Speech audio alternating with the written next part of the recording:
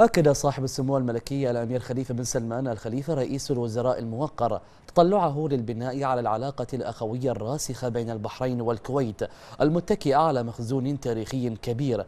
جاء ذلك خلال استقبال صاحب السمو الأمير صباح الأحمد الجابر الصباح أمير دولة الكويت الشقيقة لصاحب السمو الملكي رئيس الوزراء الموقر. استقبل صاحب السمو الأمير صباح الأحمد الجابر الصباح أمير دولة الكويت الشقيقة. صاحب السمو الملكي الأمير خليفة بن سلمان آل خليفة رئيس الوزراء الموقر. بحضور سمو الشيخ نواف الأحمد الجابر الصباح ولي عهد دولة الكويت. وسمو الشيخ جابر المبارك الحمد الصباح رئيس مجلس الوزراء. حيث نوه صاحب السمو الملكي رئيس الوزراء بمبادرات صاحب السمو أمير دولة الكويت في دعم مسيرة مجلس التعاون الخليجي. لافتا سموه إلى ما يمثله أمير الكويت من قيمة خليجية وعربية عالية لها مكانتها وتقديرها من الجميع. منوها سموه بالدور الذي يطلع به أمير الكويت في دعم كل ما من شأنه الحفاظ على أمن المنطقة واستقرارها. فيما أكد صاحب السمو أمير دولة الكويت أن الكويت أميرا وحكومة وشعبا تسعد وتفخر بزيارة صاحب السمو الملكي رئيس الوزراء لما لسموه من مكانة وتقدير خليجي وعربي بشكل عام ولدى الكويت وشعبها بشكل خاص. وخلال اللقاء نقل صاحب السمو الملكي رئيس الوزراء.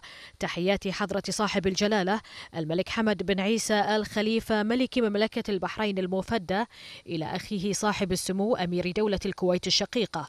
مؤكدا سموه تطلعه للبناء على العلاقات الأخوية الراسخة بين البلدين المتكئة على مخزون تاريخي كبير يساعد على دعمها وتقويتها. وقد جرى أثناء المقابلة استعراض شامل لمسار العلاقات الأخوية التاريخية التي تربط بين البلدين وما وصلت إليه من مستويات متقدمة على صعيد التنسيق والتعاون ثنائيا وخليجيا. وأكد صاحب السمو أمير دولة الكويت الشقيقة وصاحب السمو الملكي رئيس الوزراء الاستمرار في تعزيز اللقاءات التشاورية والتنسيقية لتطوير هذه العلاقات وتعزيزها والارتقاء بها كنموذج متقدم في العلاقات الثنائية التي تربط بين الدول.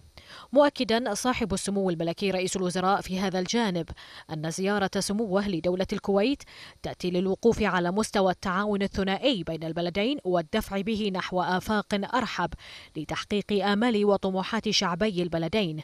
كما أنها تجيء في إطار التشاور والتنسيق المستمر بين البلدين لبلورة المواقف المشتركة حيال مختلف التطورات والمستجدات الإقليمية والدولية خاصة في ظل الأوضاع العالمية المتسارعة ومتغيراتها.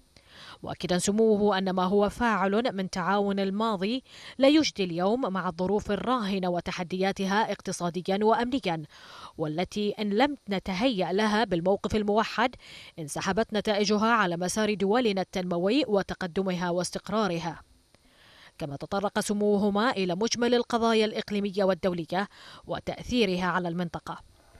وأعرب صاحب السمو الملكي رئيس الوزراء في ختام اللقاء عن شكره وتقديره لدولة الكويت الشقيقة أميرا وحكومة وشعبا على مواقفها الداعمة لمملكة البحرين وعلى ما وجده سموه والوفد المرافق من كرم ضيافة وحسن وفادة يعكس المستوى المتقدم الذي وصلت إليه العلاقات الثنائية بين البلدين.